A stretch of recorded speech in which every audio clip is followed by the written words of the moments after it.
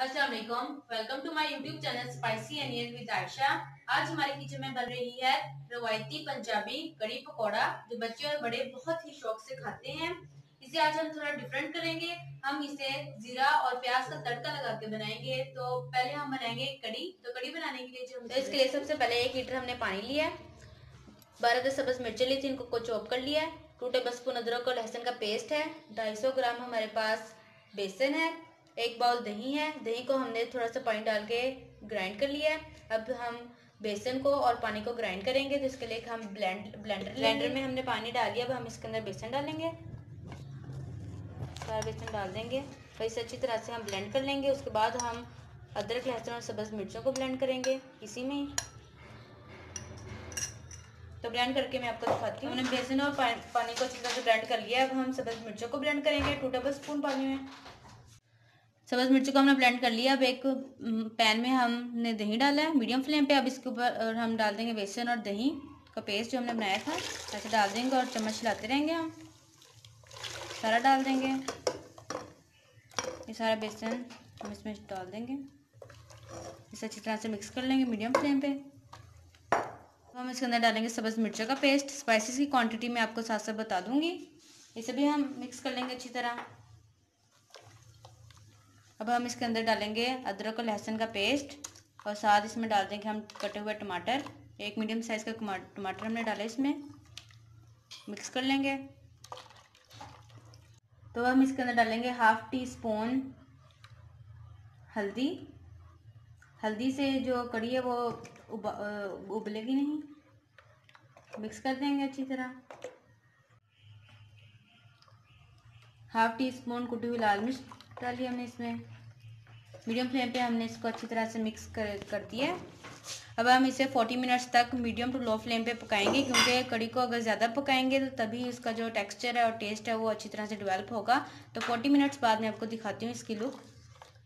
तो 40 मिनट्स हो चुके हैं, मीडियम टू लो फ्लेम पे हमने कड़ी को पकाया। देखें ये गाड़ी होना शुरू हो गई है। अब हम इसके अंदर टू टेबल स्पून कसूरी मेथी डाल देंगे मिक्स करेंगे।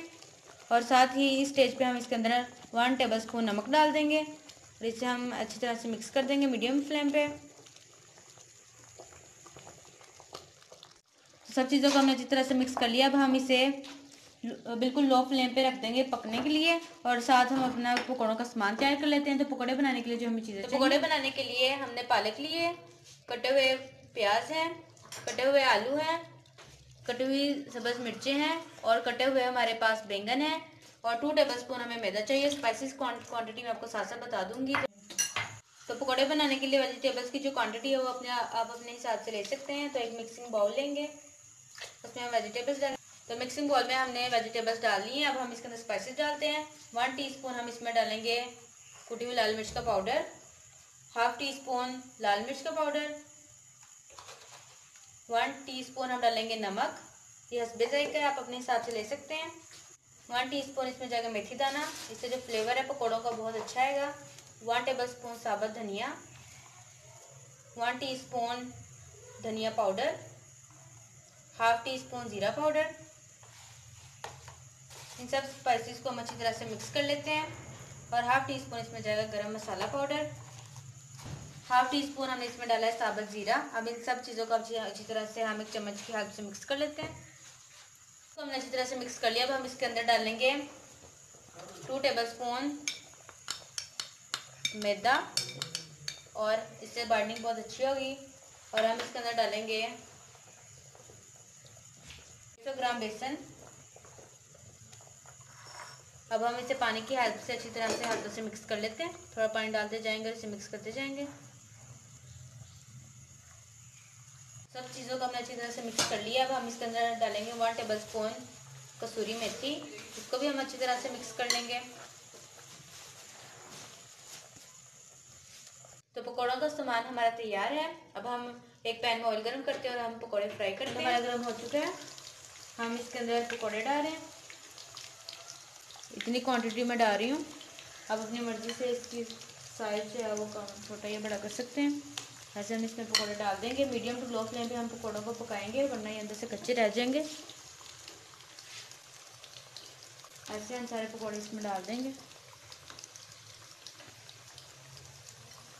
एक तरफ़ हमारे पकौड़े फ्राई हो रहे हैं और दूसरी तरफ़ हमारी लो फ्लेम पे कड़ी जो है वो पक रही है। कड़ी को हम ज़्यादा गाढ़ा नहीं करेंगे, वरना जो पकौड़े हैं, ये कड़ी अब्जॉर्ब नहीं कर पाएँगे।